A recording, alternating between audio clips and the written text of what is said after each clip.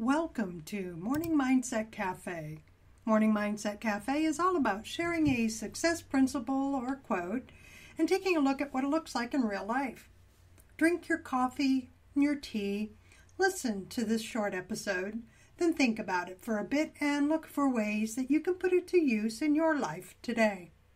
Join the Grow Alliance Facebook group to share with you others your thoughts about each episode.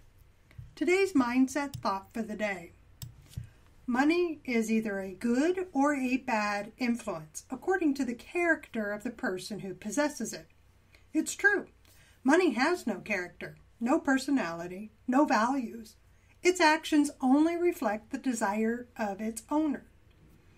Money can build great hospitals and schools, or it can be gambled away or squandered on meaningless possessions. Money may build museums to house beautiful works of art. It may construct beautiful houses of worship. Or it may be used to create instruments of war and destruction. As you build your personal wealth, make sure you build your character by setting aside a portion of your income to help others. Choose a church, a charity, a cause that you can enthusiastically support. Then give of your money and your time in support of that cause. The primary beneficiary of each noble act is always the one who gives, not the one who receives. I always viewed money as a magnifying glass.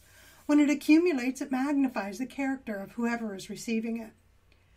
There are a lot of very nice, very kind, very generous, wealthy people in this world.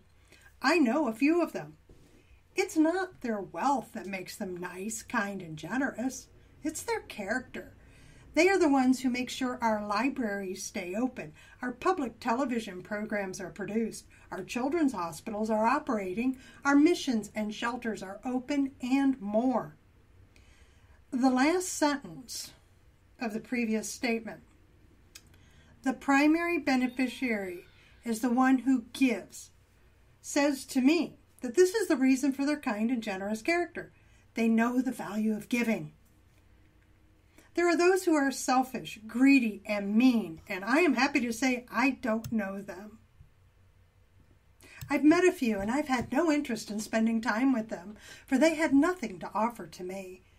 I've watched some as they gathered their riches, and I'm not interested in so associating with them. They have nothing of value that I want. There are two causes that get my money and one that also gets my attention and time. The first is local, Center for Lay Ministries. They offer a food pantry, emergency needs assistance, and alcohol drug rehab for women. They get my money when asked. My time is spent with the women to teach them life skills. In the winter, my husband hunts deer and will donate two fully processed deer to the halfway house, which almost fills their freezer. The second is kiva.org and redbasket.org.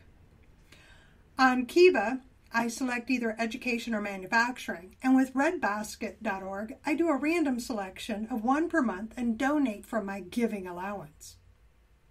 If you are thinking that you want to give and that you only have a few dollars, I recommend you go to either kiva.org or redbasket.org. Crowdfunding is tremendously effective, and your few dollars plus my few dollars plus someone else's few dollars helps someone. Now, I must get back to my own wealth building activities and keep watch on my character, and I suggest that you do the same. Thank you for joining me this morning. Let's move forward with the day on purpose with purpose to grow our hearts, grow our minds, and grow our businesses.